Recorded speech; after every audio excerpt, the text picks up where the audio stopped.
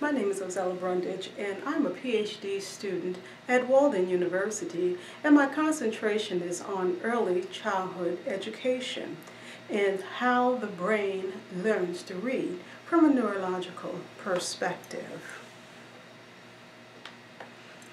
Now, this presentation is a partial requirement for the Knowledge Area Module 5, and this is the application section.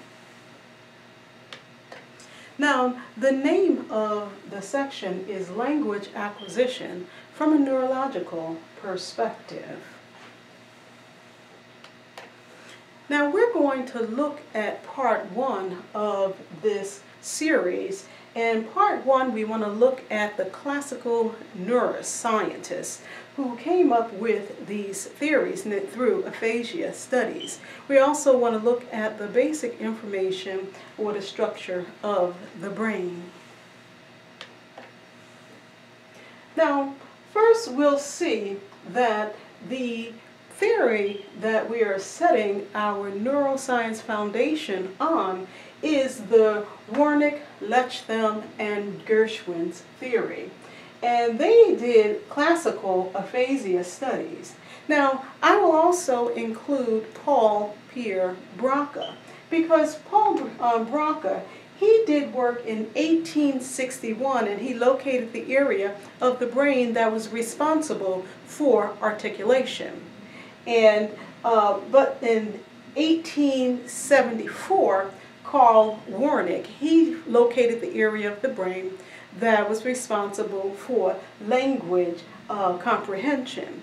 And yet, a decade later, we have uh, Ludwig Lichtheim, who did work and he located uh, anatomical areas in the brain that were actually associated with language learning. Nearly a decade, well, a century later, we have uh, Norman Geschwind. He revived the language comprehension theory and also Lichtheim's anatomical structures. And he located these structures and named them. They're called the angular gyrus, which is responsible for spatial language learning. And then there's the supramarginal gyrus, responsible for phonological processing.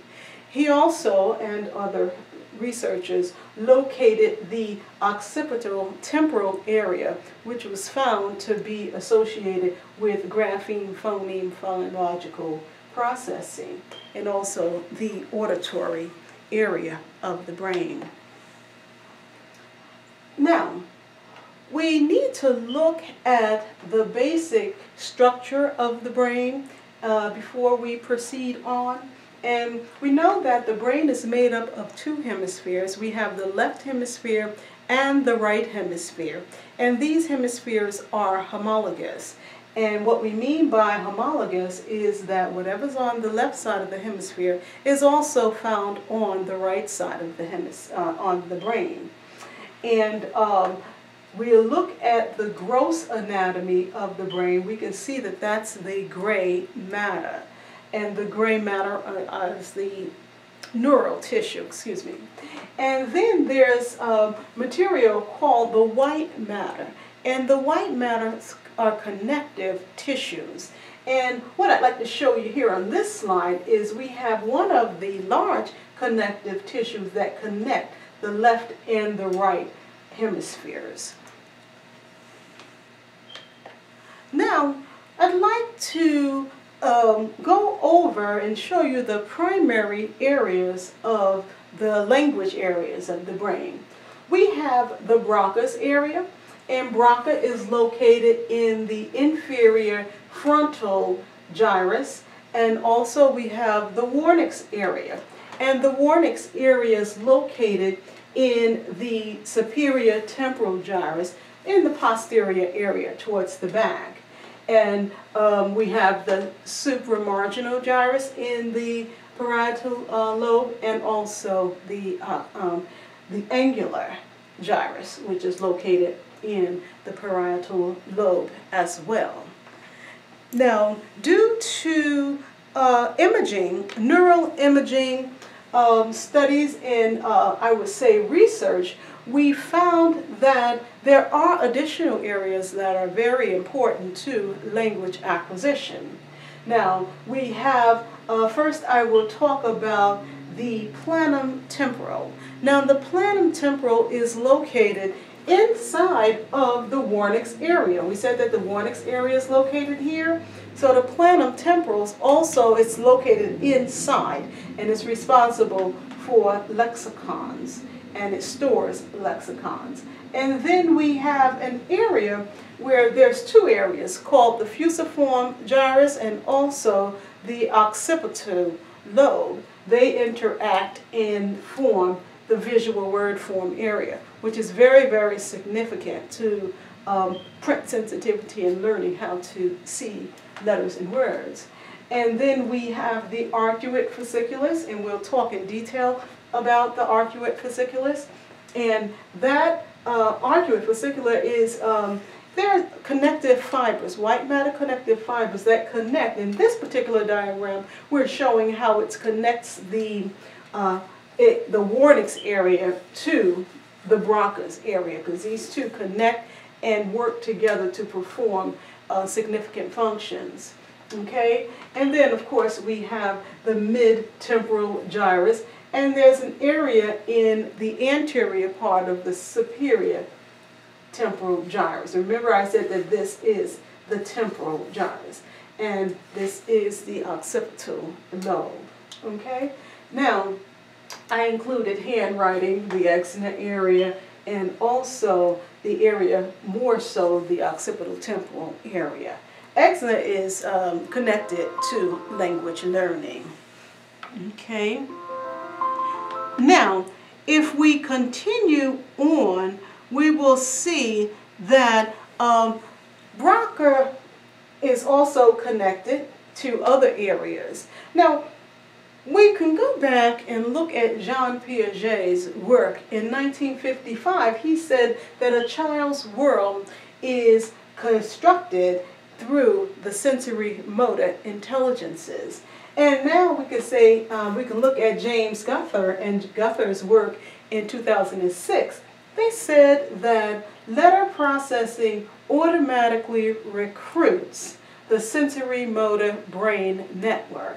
Now this sensory motor brain net, uh, uh, network is associated with sensory motor intelligence that Piaget was speaking of. Continuing along the line of connectivity, we have the corpus callosum. And I mentioned the corpus callosum in previous slides. It's the area that connects the left and the right side of the brain, uh, left and right hemispheres. So uh, this is a healthy um, adult. And then we have um, a cross uh, uh, sides view, excuse me, of the same structure.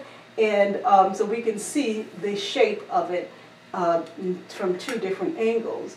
Now, the corpus callosum not only connects the uh, hemispheres, but is also significant in higher cognitive processing, such as decoding of non-literal meaning, such as gestures and facial expressions.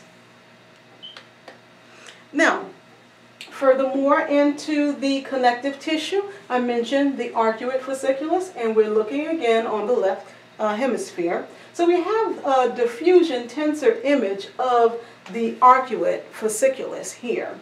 And now we note that it transports information from one language area to the other, like I mentioned, with the Broca area and the Wernicke's area.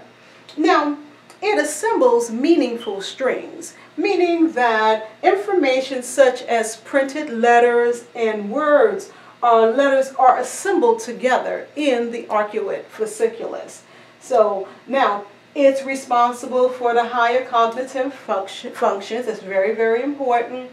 Connectivity and patterning. That's an um, area that I can talk about because it is it shows us how one area is connected to the other, but this type of branching that occurs as well. Um, each person has a different patterning or a different pattern of branching that occur due to experiences.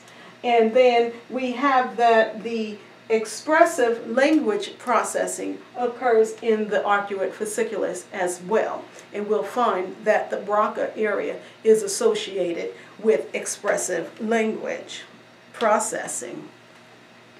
Okay? Now, if we notice here that Montessori, back in 1912, warned us and told us that to prepare teachers in the methods of experimental sciences is not going to be an easy matter. Today we can say something similar to that because we can say to prepare, uh, to prepare educators, not only teachers, but administrators and stakeholders that are interested in language learning and teaching children how to read. Okay? So we know that that is not going to be an easy matter, especially when we refer to neuroscience education. But just as we moved beyond Montessori's concerns, we will be able to move beyond the concerns that educators have today in regards to connecting neuroscience and education. Okay? Now, let's look at how we should go about making those connections in the future. Now, currently, the to do now, or the do now, is collecting knowledge related to neuroscience education. So as we continue to learn more and more about the areas of the brain and their functions and connections between function and areas, we will be able to move up to a place where there's a considerable amount of comprehension. Where educators, I am going to continue to say educators, who will begin to learn how to apply the neuroscience information and the, the knowledge that we're gaining today, and then we will get to a point where we can synthesize or we can uh, create lessons and also um, pedagogies. And then, as far as curriculum are concerned, we would still have to wait until we get to that point. We don't want to rush this because the theories are still being developed. Okay? Now, that I would consider is the correct way. There's another way that where this is occurring, where neuroscience education is entering into the educational arena. Okay, right now we have commercial products that are entering in um, through not only through computer technology, but we have it to where um, teacher-proof neuroscience curricula are being introduced into the schools, which I think we should be very, very careful of that because we have it to where if we just go ahead and introduce the neuroscience into the classroom without the adequate amount of knowledge and also um, the ability given teachers an opportunity to create a good pedagogy and then moving on to comprehension. It is at this stage where miseducation of teachers can occur and are occurring at this point because we have teachers who believe that they are uh, efficient in neural education due to the problem with commercial products. Now, then we need to look at John Dewey. John Dewey back in 1915, he said and he recognized that society must invest in the science of learning. This is very important because we know today that that is so. It is society that must invest not through commercialism, but right into the schools the teachers, the administrators. We have to invest in our educators in order to get a good understanding of the 21st century education. Now this is the end of the presentation today and what I would like to do is introduce the, you to the part two and I welcome you to learn about the sensory motor aspect of bringing neuroscience education into the classroom.